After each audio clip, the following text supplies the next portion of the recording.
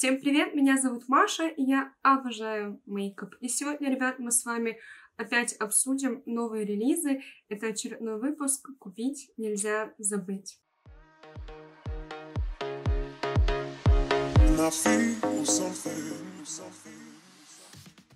Ребят, мы с вами очень давно не обсуждали новые релизы, поэтому постараюсь быть максимально краткой. Также для вашего удобства будут тайм-коды у этого видео, то есть вы можете перейти в ту часть, которая вас волнует больше всего. И давайте мы прям не будем это затягивать, а сразу же начнем. По традиции мы начнем с вами с категории «Новый бренд». И здесь меня заинтересовал и взволновал всего один новый релиз. И это бренд от Саманты Ренхал. Бренд называется Globe Auric. И это люксовый бренд, исходя из цены продуктов, а также исходя из того, как выглядит упаковка. Упаковка, конечно, выглядит нереально красиво. И первые два продукта, с которыми она решила выйти, это жидкий хайлайтер Glow Last за 45 долларов в 7 оттенках, а также Small Reflect. Это такое дуо, которое состоит из кремового праймера, а также сухого прессованного пигмента.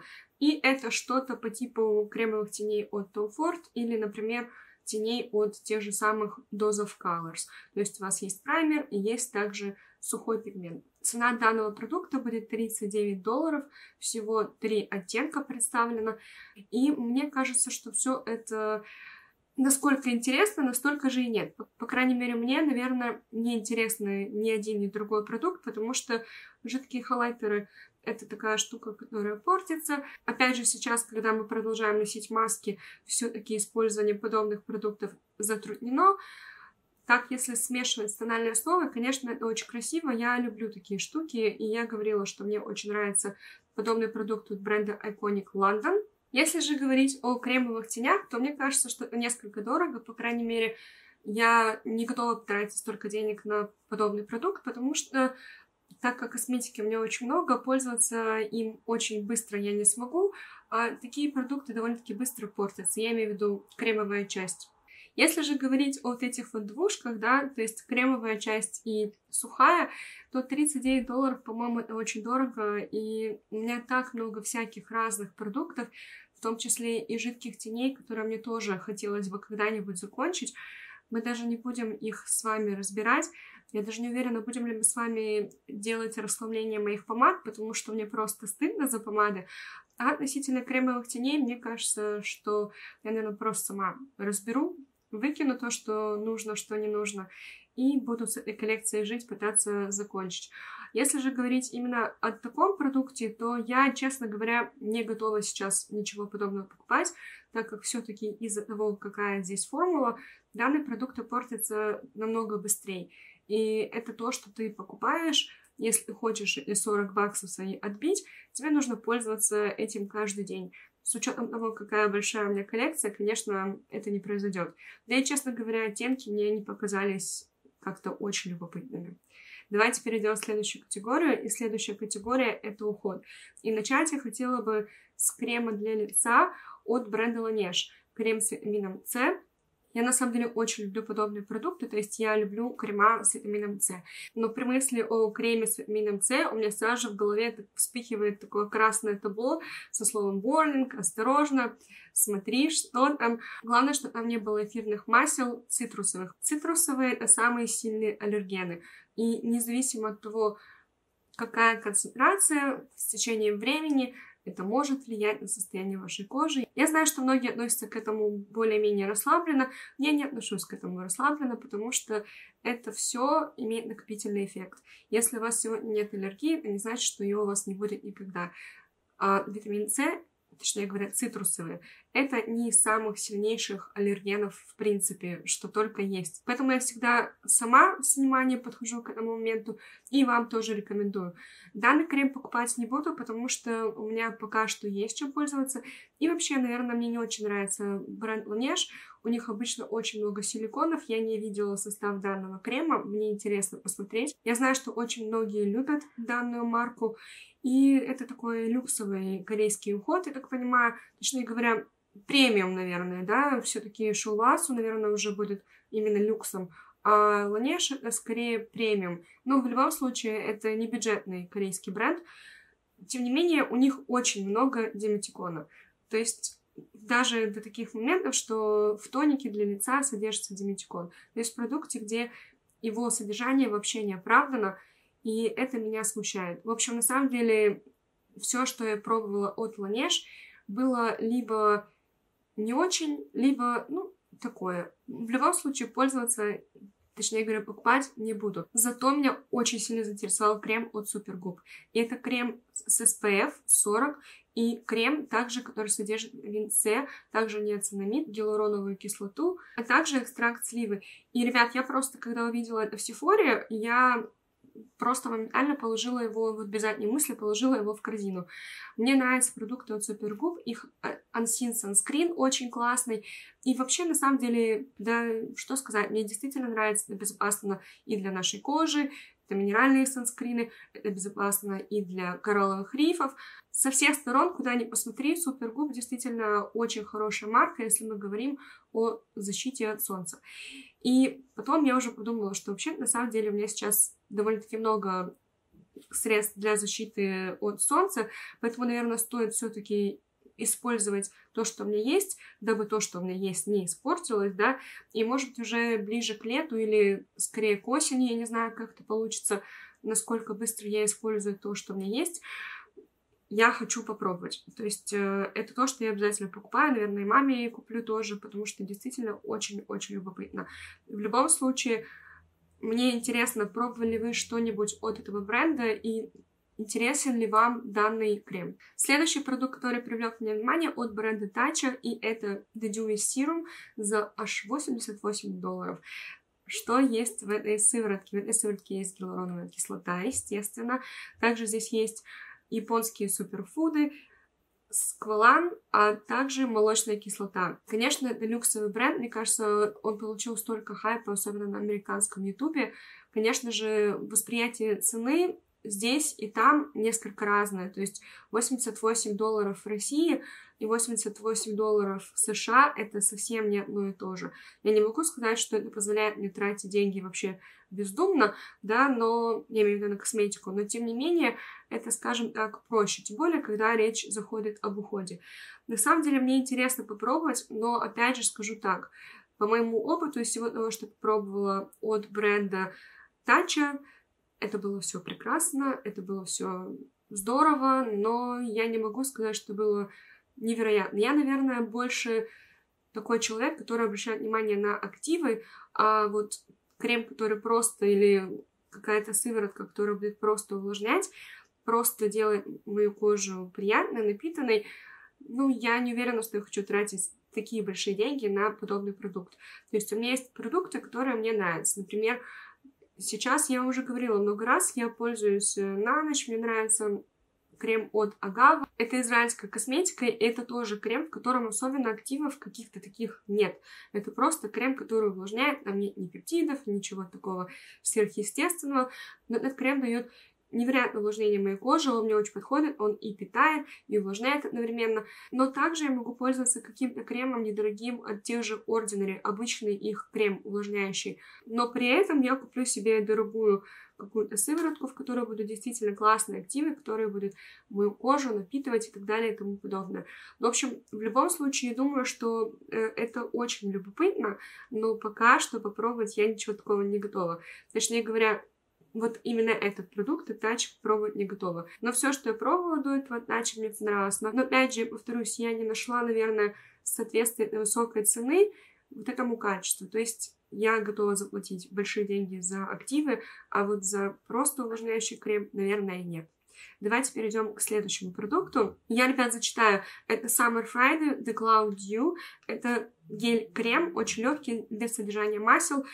Цена его будет 42 доллара, и он содержит керамиды, минералы, также содержится в нем гиалуронка и аминокислоты. И я, кстати, вот буквально вчера ночью или сегодня утром получила письмо от BoxyCharm, где был такой манифест от Summer Fridays, где они извинялись за продукт их же, который вышел также ну, относительно недавно, да, The Jet Lag Mask, и это была маска такая успокаивающая, увлажняющая для лица. И в этом письме Summer Fridays, собственно говоря, извинялись перед покупателями за то, что оказалось, что было много недовольных, потому что маска жгла лицо, были неприятные ощущения на коже.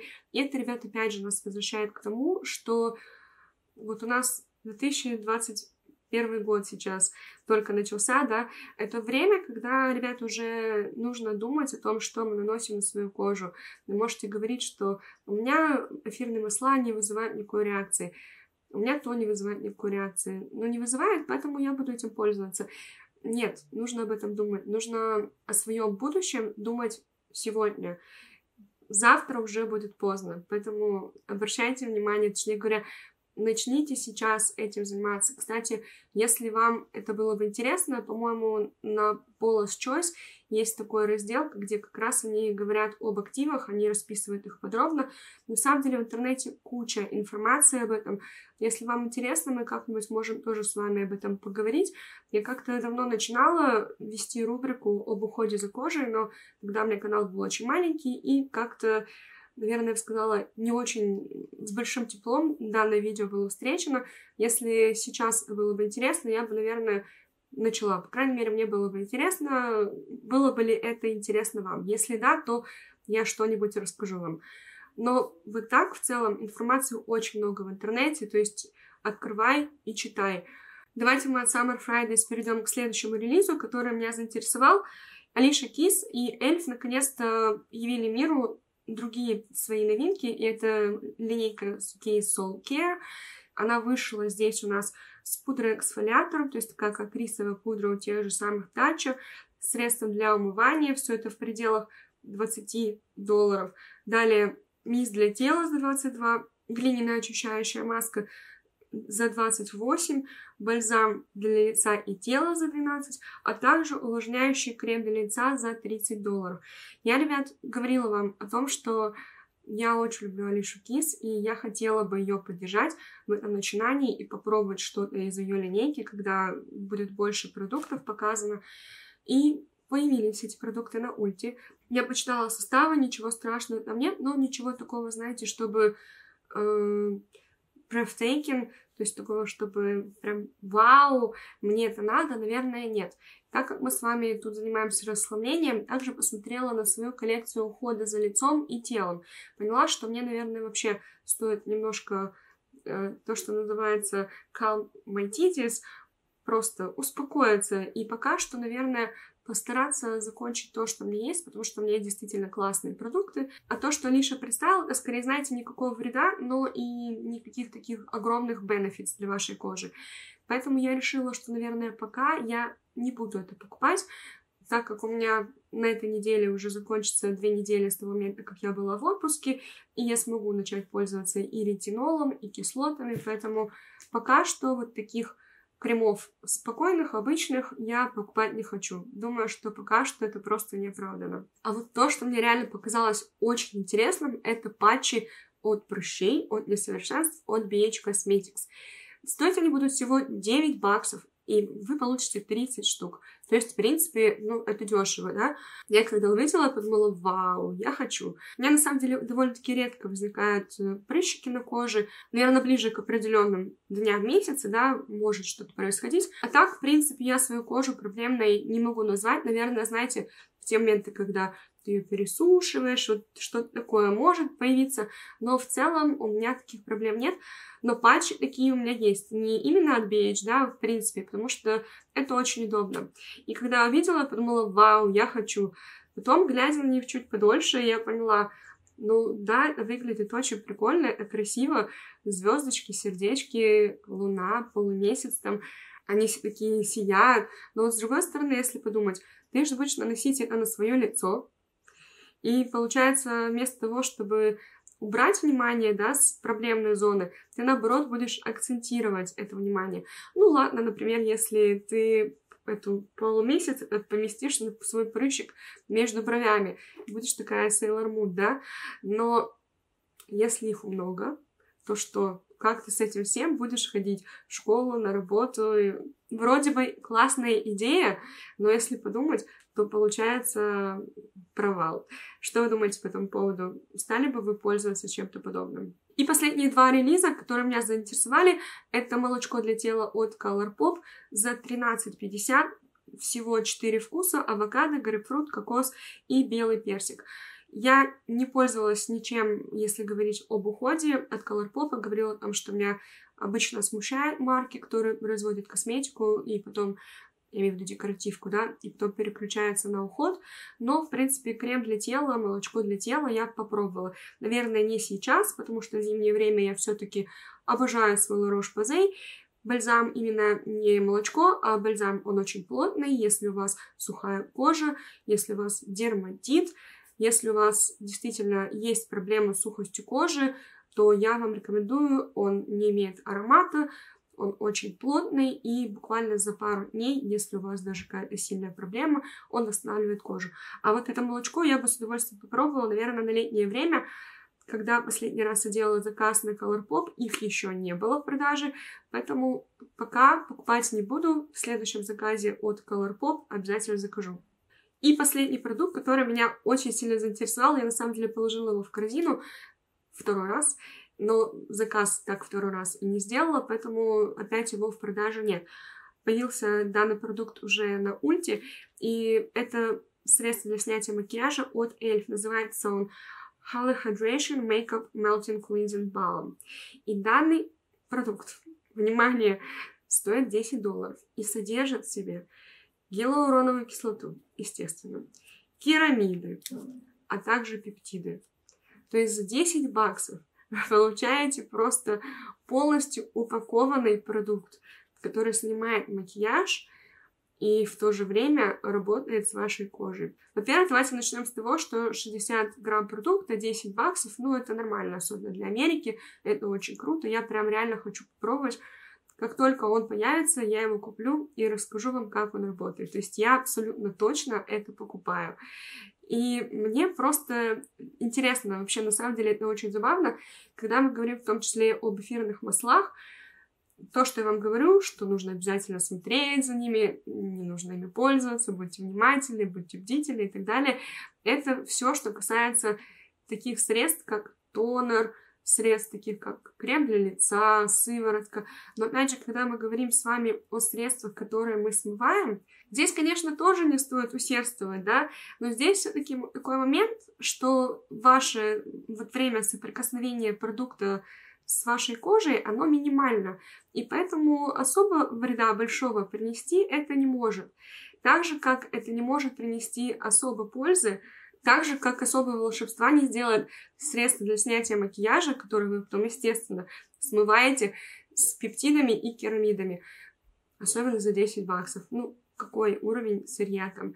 В общем, конечно, это все, как называется, бабка надвое сказала, да, но в любом случае я это беру и вам расскажу, как он, потому что за 10 баксов, если он классный, если он работает, ну, мне кажется, что это очень круто. Ребят, давайте продолжим и начнем говорить о декоративке. И здесь, ребят, я хотела бы начать с таких более бюджетных брендов, потом перейти к более дорогим, и также у нас будет категория люкс, тяжелый люкс. Но начнем мы с вами с бюджета. Итак, Physicians Formula вышли с новым бронзером. Называется он The Matte Manoi Butter Bronzer. Цена его 13,99 долларов. И его уже можно купить в Ульте. Мне на самом деле стало очень интересно. Это бронзер, который должен быть очень стойким и water resistant, то есть водостойким, получается, и это очень интересно. Также у них вышла палетка для лица, называется она All Star Face Palette за 17,99, то есть чуть-чуть дороже. В эту палетку вошли 6 продуктов, в том числе и этот новый бронзер. Так вот, в эту палетку вошли вот этот новый бронзер, старый бронзер, самый популярный бронзер, да, Physicians Formula, благодаря которому они прославились. Далее хайлайтер для лица Mortal Glow, Далее Multicolored Powder, Rose All Day Petal Glow, так понимаю, что тоже хайлайтер. А также румяна Happy Booster Glow and Mood Boosting Blush. ребят, я не пробовала ничего от Physicians Formula, кроме их классического Butter бронзера. И мне, на самом деле, было бы очень интересно попробовать. Напишите мне в комментариях, было ли бы вам любопытно, чтобы я купила эту палетку и, например, какие-то еще бюджетные продукты и сделала, может быть, такое видео с новыми бюджетными релизами, которые не являются колорпопом. В общем, в любом случае, мне кажется это очень интересным, и я хочу попробовать. Следующий релиз от Morphe — это коллекция The Sweet Oasis Collection. В данный релиз вошли палетка для лица на 35 оттенков, также набор кистей и набор блесков для губ. Блески для губ и кисти меня не интересуют. Палетка мне показалась интересной. Я думаю, что данная палетка сыщет много любви у фанатов Морфи. Кстати, наверное, если бы эта палетка вышла до той палетки Hot Spot, что была у меня, от которой мы с вами избавились, то я, наверное, бы ее купила. Потому что как раз-таки коралловую часть я люблю, эти все персики, кораллы, мне это идет, мне это нравится. И бирюзовые меня привлекают. Собственно говоря, ту палетку я покупала только ради этих оттенков.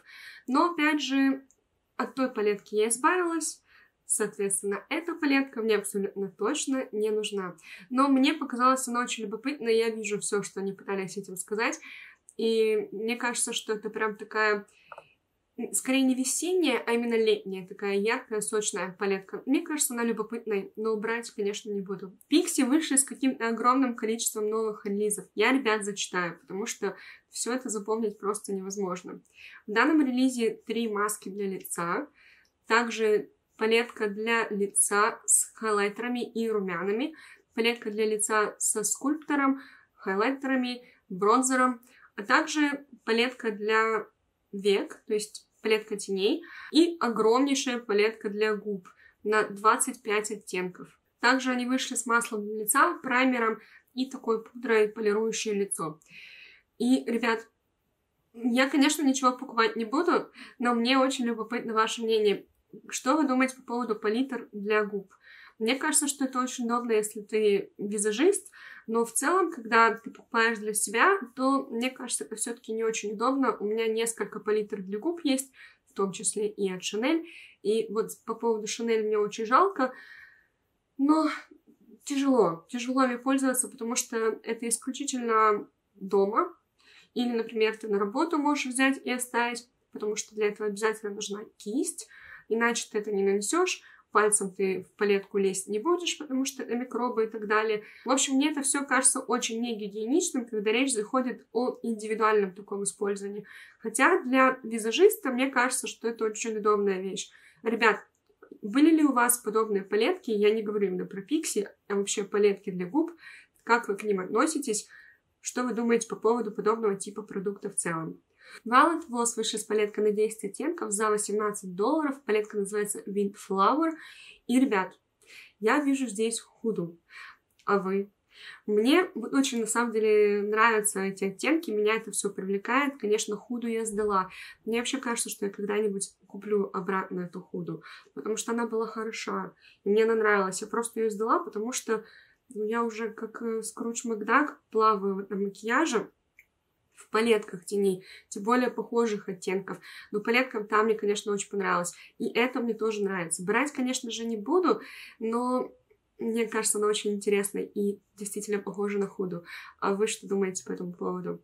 Я, кстати, никогда еще не пробовала тени от Violet Voss, и у меня есть две палетки теней. Как раз э, я получила их в свой боксе Charm. Они абсолютно новые, я их ни разу не открывала, не сводчила они прям идеально новые. Я думаю, что, может быть, мы когда-нибудь тоже проведем giveaway, я найду их, и, может быть, какую-то отправлю в Россию, и как раз мы проведем giveaway, так мне дешевле будет вам это доставить до дома, а вам будет приятно получить подарок. И, собственно говоря, я попробую Violet Voss, и вы попробуйте Violet Voss, и коллекция моя тоже теней немножко уменьшится, точнее говоря, коллекция запасов. Давайте перейдем к следующему релизу. И это Color Pop. Я не буду говорить обо всех релизах. С тех пор, как мы с вами говорили, произошло просто очень много всего. Я скажу только о том, что мне показалось либо очень любопытным, либо ужасным. Итак, первое, что хотела бы отметить, это палетки их размером bite size, то есть такие малютки, состоящие из пяти оттенков за 10 баксов. Честно говоря, когда я их увидела, я подумала, я хочу. Но на тот момент у меня уже были палетки от визиарт, и поэтому мне показалось, что все-таки Часть этого у меня есть, в принципе, в коллекции от Colourpop, да, я имею в виду похожие оттенки. А во-вторых, ну, если у меня уже есть визиар, то зачем мне брать Colourpop? К тому же в некоторых палетках есть прессованный глиттер, который я не люблю. Но вот так, мне кажется, конечно, очень любопытно и интересно, что Colourpop играет с форматами. Следующая коллекция, которая мне показалась неинтересной. Это палетка, точнее говоря, коллекция The Ear of Ox. Это палетка, посвященная как раз году быка. В эту палетку вошло очень много продуктов, как всегда. Если не говорить о вот этом хайлайтере, да, то палетки мне показались просто безумно похожими на палетку Мулан. То есть это как будто бы взяли и расширили эту историю. Но настолько похожие. Я вообще не понимаю ничего в этой жизни. Следующая палетка, которая вышла совсем недавно, ее можно купить уже в Ульте, и палетка называется Off Melrose. И эта палетка очередная нюдовая палетка. Мне кажется, что вот здесь, конечно, Colourpop просто, наверное, стреляет, что называется, по воробьям. Причем пытается попасть в каждого. Мы за тот год увидели несколько нюдовых палеток. Одну я купила. Это палетка Garden Variety. Но вот столько нюдовых палеток вышло у Colourpop за это время. Мне кажется, как-то вообще даже неприлично много.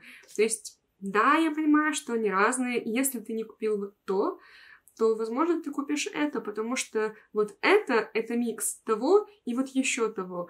Но так, конечно, это очень сомнительно и очень странно. Как-то на самом деле начинает раздражать. Я на сегодняшний день вообще настолько довольно и спокойно относительно Colourpop, наверное, что должно произойти что-то невероятное, чтобы я пошла и купила. Мы с вами посмотрели на мою коллекцию. На удивление мы избавились от двух палеток. Одну палетку я передала подруге еще в прошлом году.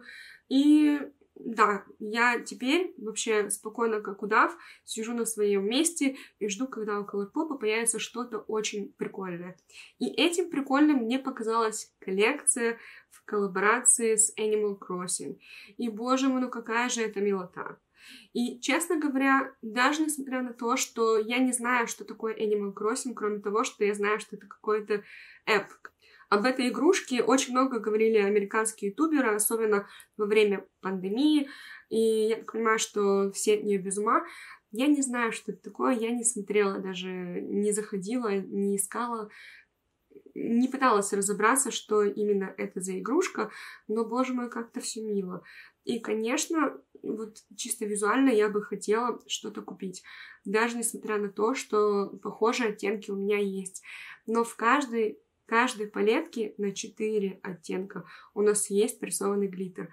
И это та формула, которую люди, то есть потребители Colourpop, предпочитают меньше всего. Мне кажется, немножко, знаете, плохие игры. Я понимаю, что этот коллаб все-таки будут покупать независимо от того, что там вообще находится, какие оттенки и как много дюпов уже есть в коллекции, будут покупать именно фанаты Animal Crossing.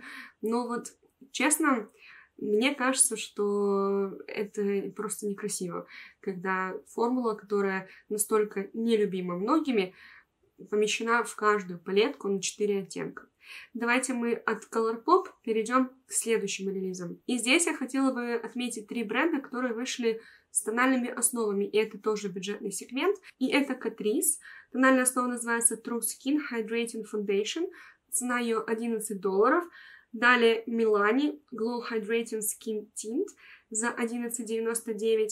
А также Wet n Wild Wear Focus Tinted Hydrator Skin Whale за 5,99.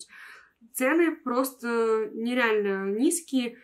Кстати, у Милани, насколько они объясняют, покрытие от прозрачного до легкого.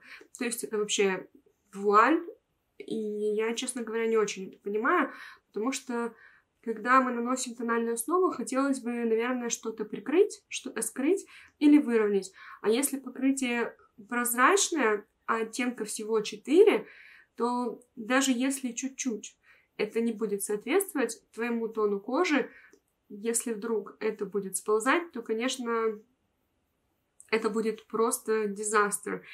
Очень интересно, как это работает, но вот если говорить об этих тональных основах, мне было бы интересно попробовать тональную основу от Catrice, потому что я не пробовала вообще ничего от Catrice. А также, пожалуй, вот эту тональную основу от Wet n Wild. Потому что как раз-таки скоро будет весна, и вот эти легкие тональные основы — это то, что надо. И я так подумала, а почему бы нам не сделать такое мероприятие, такую серию видео, может быть, знаете, раз в две недели, когда мы будем открывать новые тональные основы, буду делать обзоры на то, что у меня уже есть. Я не буду делать обзор исключительно на тональную основу, то есть мы будем с вами тестировать что-то еще. Может быть, даже перерыв в две недели будет максимально адекватным, потому что так я смогу записать какую-то часть видео в качестве первых впечатлений, да, нанести тональную основу вместе с вами, посмотреть в течение там 5-8 часов, а потом уже поносить ее после этого несколько дней и вынести свой вердикт. Хорошо, плохо. И под эту же тему пробовать какие-то другие продукты для лица или тени и так далее. Мне кажется, было бы интересно, как раз у меня есть какие-то палетки от Colourpop, которые не испробованы, хотя они большие. Но, в общем, в любом случае, может быть, как-то это организовать. Плюс мы с вами, как я сказала, открыли несколько тональных основ, точнее говоря, положили в мой ящик несколько новых тональных основ. И вот эти недорогие основы тоже, мне кажется, интересными и недорогими. То есть их я точно могу купить и не жалеть, если это окажется плохим. Что вы думаете по этому поводу? Было ли бы вам это интересно? Напишите в комментариях.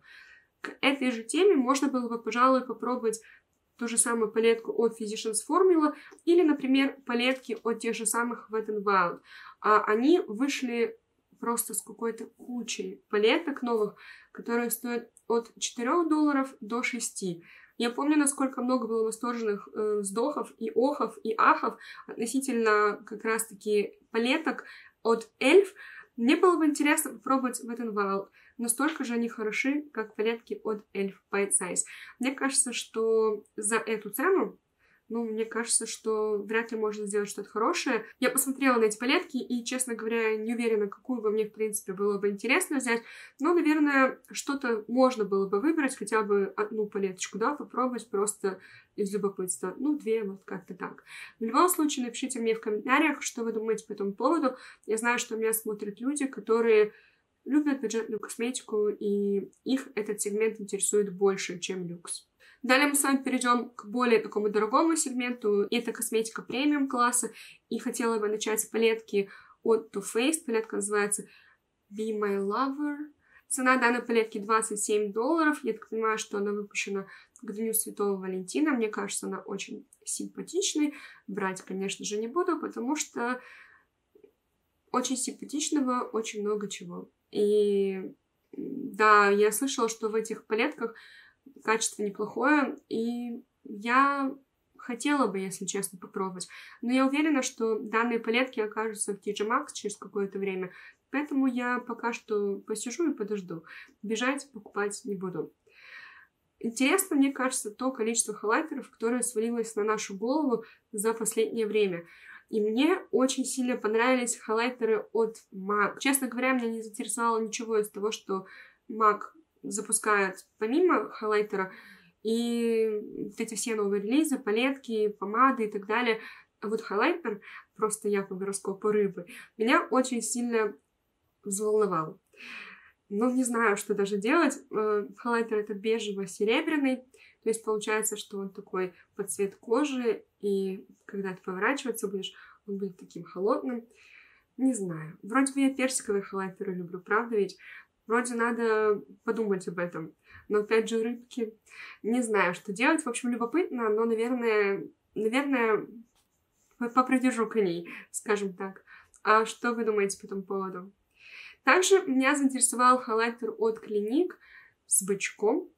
Очень мило все, посвящено, опять же, нашему году, наступившему 2021. Слышала очень много хорошего о хайлайтерах от Клиник, но сама еще не пробовала ни разу. Точнее говоря, у меня был кремовый хайлайтер, а вот именно сухих еще не пробовала.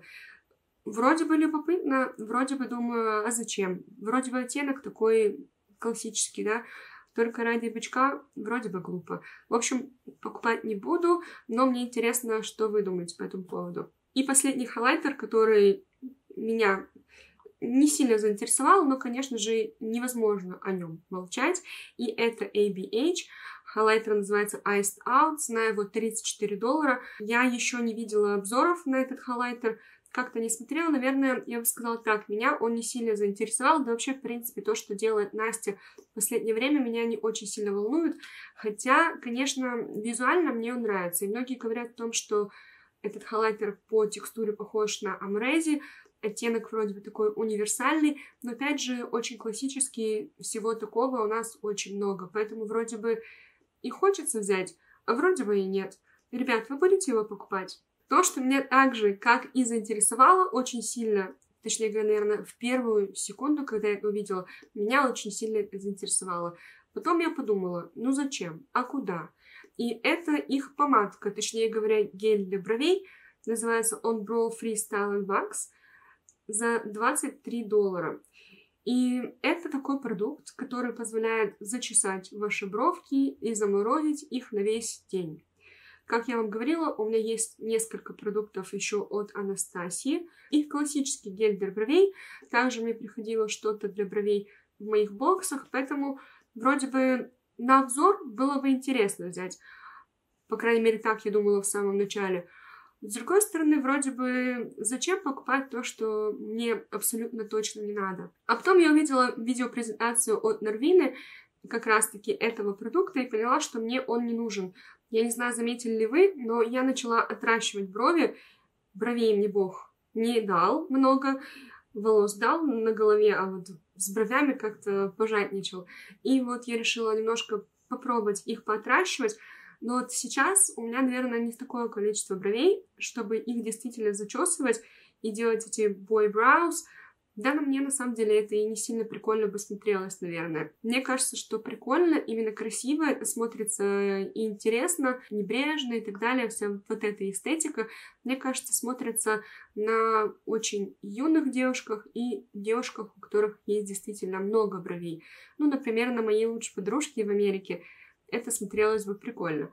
А вот на мне, при моем количестве бровей, брови просто хотелось бы аккуратно уложить и закрасить промежуточки. Ребят, напишите мне, что вы думаете по этому поводу. Заинтересовал ли вас этот продукт и будете ли вы покупать? А мы с вами продолжим с релизами. Fenty Beauty вышли с Profilting Soft Matte Powder Foundation. То есть это тональная основа пудровая.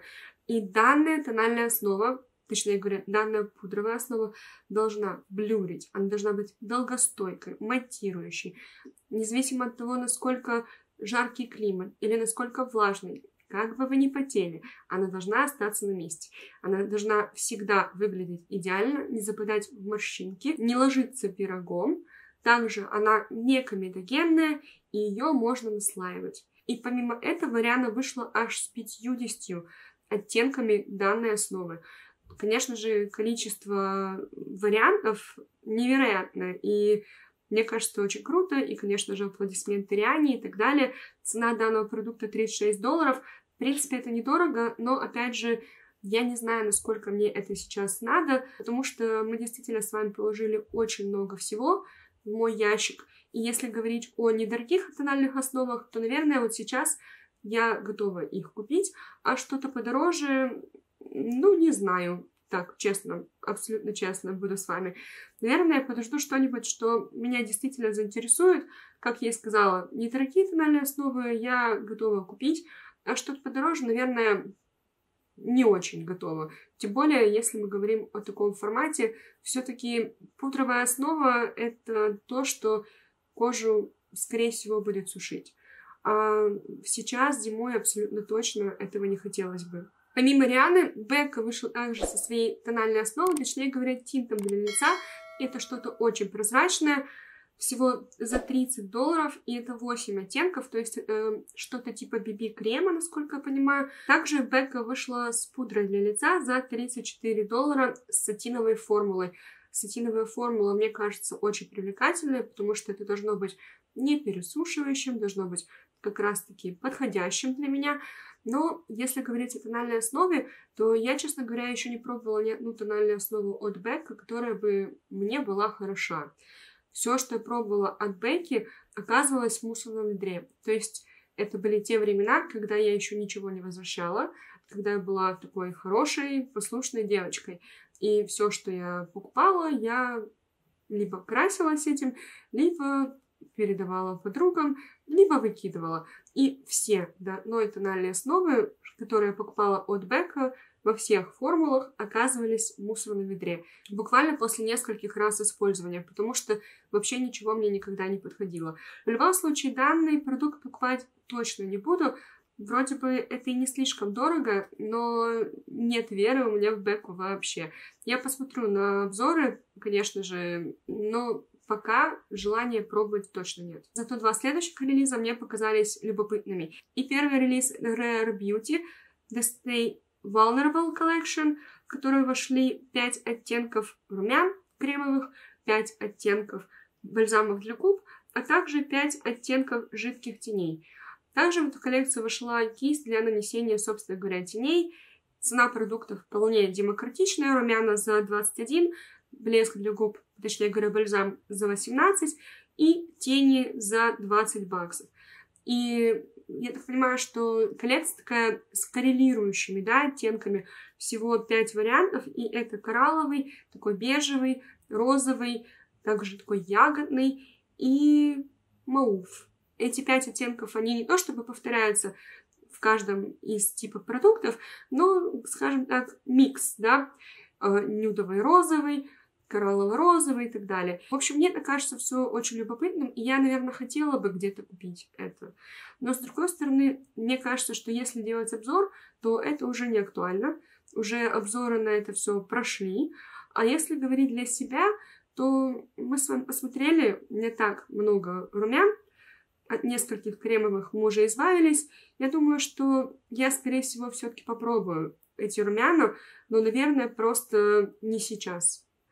Как-то так. Также очень любопытно мне показалась палетка от Tarte. Называется она Juicy Amazonian Clay Eyeshadow Palette. В ней 20 оттенков бронзовых, также розовых. На самом деле, ну, все, что мне может понравиться, да, очень симпатичная палетка. И я, наверное, если бы у меня ничего подобного не было бы, пошла бы и купила. Но на сто процентов я уверена, что через какое-то время данная палетка будет на скидках, поэтому вот тогда, может быть, я ее и куплю. А сейчас мне она абсолютно точно не нужна. И два последних релиза, о которых мы поговорим с вами в этой категории, перед тем, как перейти к люксу, это Kaleidos Makeup в коллаборации с Анжешкой. Коллаборация называется The Club Nebula. В эту коллекцию вошли палетка теней, а также колода карт. Собственно говоря, можете приобрести как просто палетку теней, либо приобрести все это вместе как PR-бокс, да. И палетка стоит 45 долларов, палетка на 15 оттенков, в ней содержатся матовые металлики, а также дуохромы. И, конечно же, ничего от Kaleidos покупать я не буду. В принципе, я не знаю, может быть, когда-то они выйдут с чем-то очень-очень красивым, и я захочу купить. Но данная палетка меня ни визуально не заинтересовала, ни вообще качество теней от Kaleidos не заставили меня желать попробовать что-то еще. Поэтому Анжешку мне хотелось бы поддержать. Мне она очень нравится, она очень милая девочка, но чисто визуально палетка вообще просто мимо меня, и покупать точно не буду. Ребят, а вы будете покупать палетку от Kaleidos? Последний релиз — это Melt и Blueprint Collection, в которую вошли палетка теней, а также два гель-лайнера. Один матовый, другой сияющий. Все в синих оттенках. Точнее говоря, как?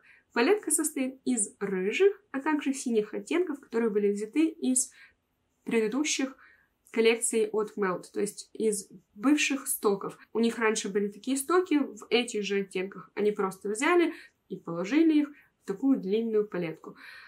Боже, что это такое? У вас фантазии всякого, зачем было это делать? Вообще, насколько я помню, э, американские блогеры говорили о том, что как раз-таки, когда Melt были в стоках, качество было выше, чем качество палеток.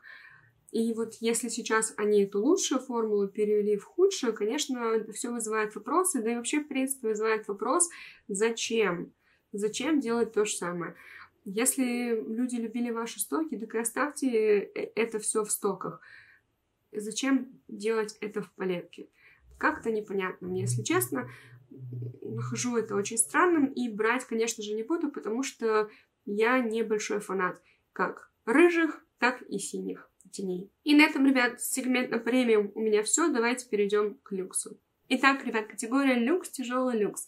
Я не буду говорить здесь о кушонах, которые вышли у дорогих брендов, да, потому что, честно говоря, мне все интересно, я все заметила, это все увидела, но вот как-то, знаете, наверное, это категория продукта, который я еще не пробовала, и мне страшно, я не хочу пробовать.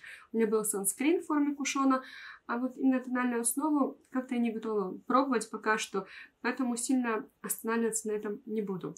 Давайте мы поговорим с вами о том, что мое внимание привлекло. Итак, двушка от Chanel. Fleurs de Printemps, как-то так, наверное, называется. И это румяна и хайлайтер.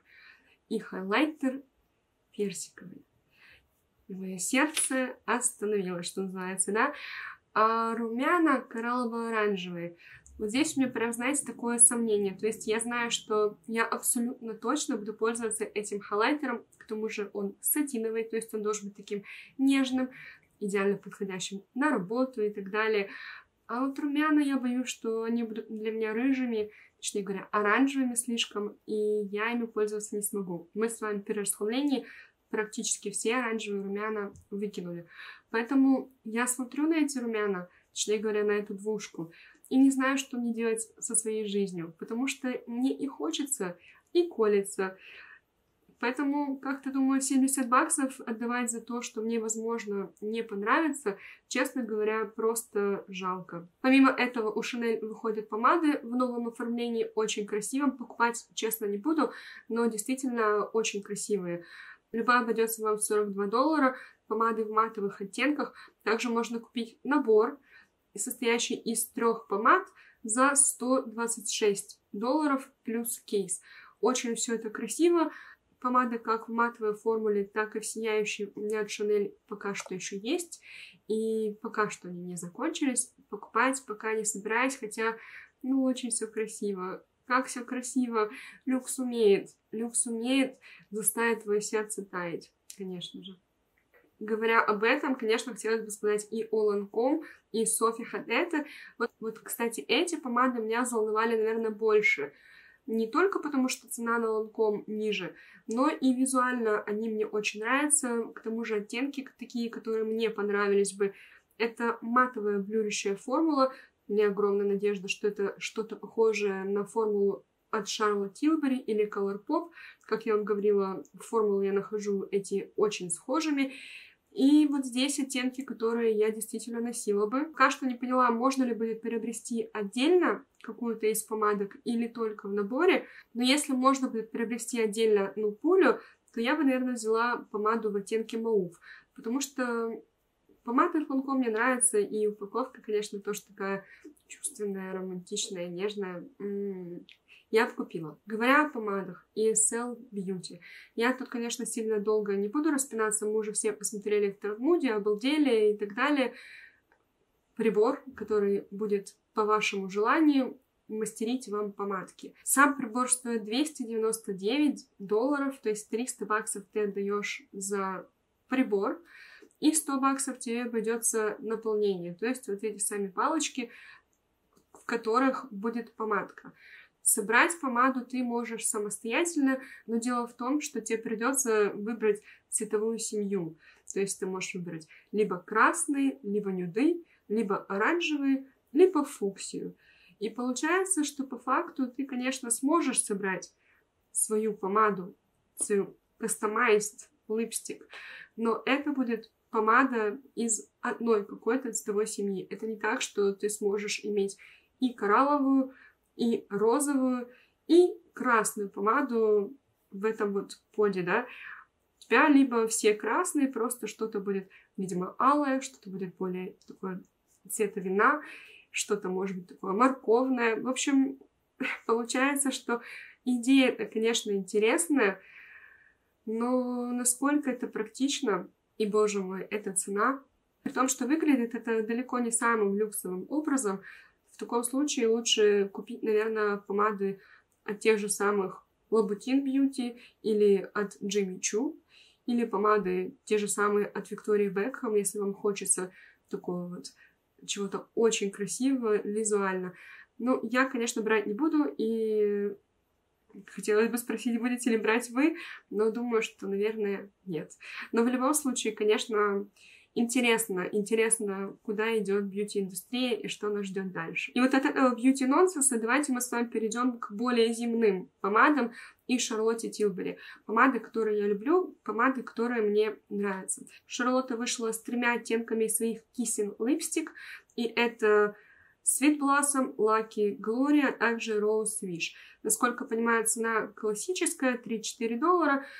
Визуальное оформление, конечно, очень красивое. Честно говоря, я, глядя на оттенки, понимаю, что у меня эти оттенки, похожие, точнее говоря, оттенки именно в этой же формуле от той же самой Шарлотты уже есть. Это нечто другое, не то, что было до этого, но все-таки очень похожее, поэтому брать не буду, хотя, конечно, визуально очень красиво и очень привлекает. Зато меня очень заинтересовал другой релиз от Шарлотты The Hyaluronic Happy Kiss. Это такой бальзам для губ, который делает ваши губки более сочными, более пухлыми.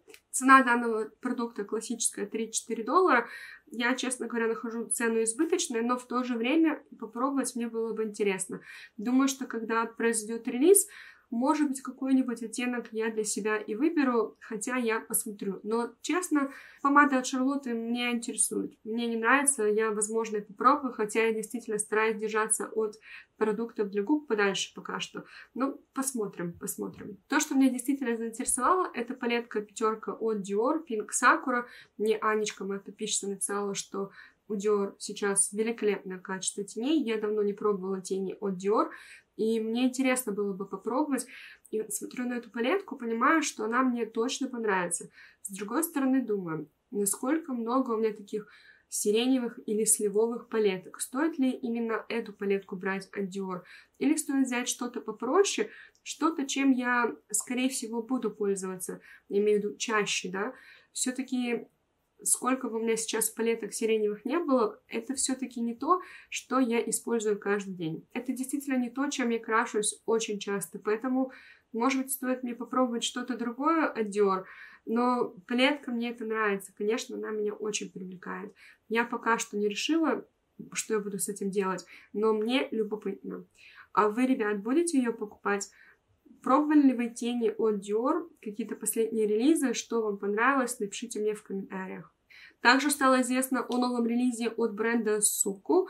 И вот здесь мне хотелось бы попробовать, потому что я ничего еще не пробовала от этого бренда. Не могу сказать, что какая-то из этих палеток меня очень сильно привлекает. То есть они мне все кажутся очень обычными. С другой стороны, мне кажется, это и неплохим, когда мы говорим о люксе, да, начиная с чего-то такого простого. В любом случае, мне кажется это любопытным. Если вы пробовали тени суку, напишите мне, как вам качество. Мне действительно любопытно. Мне Аня тоже говорила о том, что они очень прозрачные, очень такие светлые. Но это, наверное, логично, потому что это японский бренд. Все-таки, когда мы говорим о восточной красоте, да, и восточной косметике декоративной, то она все-таки такая легкая. Это не что-то яркое, насыщенное, это такие более прозрачные оттенки, но попробовать любопытно. Я не знаю, попробую ли что-то из этого, или попробую уже какой-то другой релиз, но попробовать мне действительно очень любопытно в этом году.